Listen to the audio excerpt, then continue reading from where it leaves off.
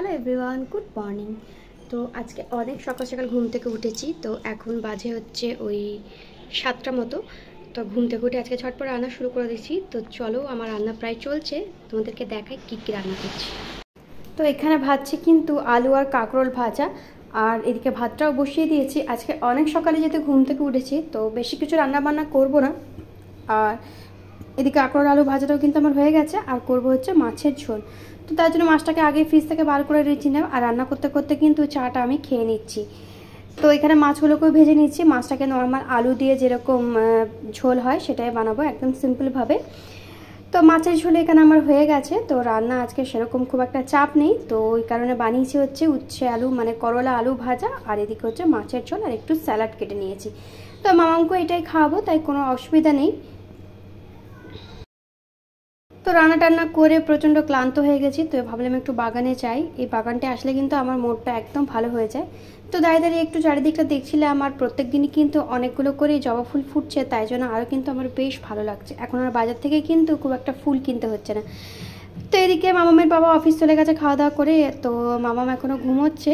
তো আমি তার আগে ভাবলাম যে রুটিটা করে নিই, আর গতকাল রাতের একটু তরকারি রয়েছে, সেটা দিয়ে আমি খেয়ে নেব।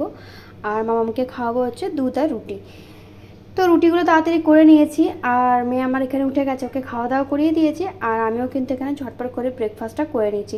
ব্রেকফাস্ট করে একটু রেডি হয়ে নেব, কিছু কাজ আছে, তো মেয়েকে নিয়ে যাব।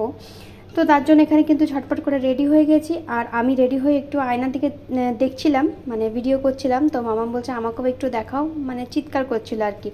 তো ওই জন্য ওকেও একটু দেখিয়ে দিলাম। এটা কি করছ? কি? কি পড়েছো? চোখে কি পড়েছো? এটা কি? এটা কি পড়েছো? এটা কি? সানগ্লাস।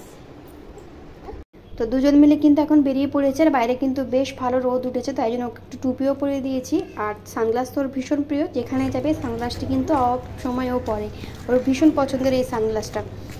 তারপরে আর ওখান থেকে এসে আর ব্লগ করা হয়নি। একটু টায়ার্ড হয়ে গেছিলাম, খাওয়া দাওয়া করে রেস্ট নিয়েছিলাম। আর বিকেলের দিকে এদিকে দেখো, মেয়েকে একটু পড়াতে বসেছি। ও লিখছে তো না, ওই আর কি যা করে।